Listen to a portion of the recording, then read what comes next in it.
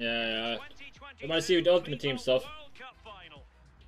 Alright, here we go. FIFA World Cup and Ultimate Team. What are we getting here? World Cup taking place during November and December. What is that unlocked in FIFA? Oh, man. All the... Timing of this Oh, oh, there's SBC objective cards. create a genuinely unique Ultimate Team There was a lot of cards there, man. Probably gonna swaps as well. Season of daily content, including special player items. Oh, they just leaked Modric. They just leaked the World Cup Modric card. Experiences in Ultimate Team.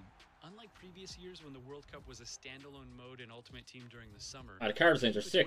What's it say on experience will be Just says World Cup intertwined Qatar, I. The Ultimate Team squad you're already building, so players can continue strengthening their squads and progressing.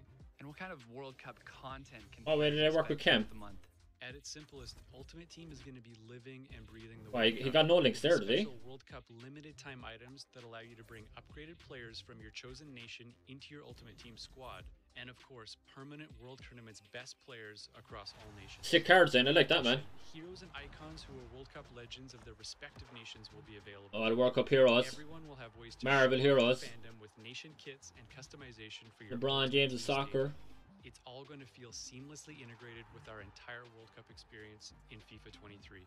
This all sounds Yeah, that's sick, man. Bring it on. those I'm looking forward to score it. home, Ultimate connection to the tournament throughout FIFA 23. World Cup swaps. authentic FIFA supposed to be a path to glory as well. So it's going to be good, man. 32 qualified nations in Only comes around every four years, Online, so- Special content in Ultimate Team. We're excited for everyone to play in the World Cup free in FIFA 23 on November 9th. Alright, lads, that's it. Let's go. Yeah, I'm hyped. Ready to go for World Cup mode.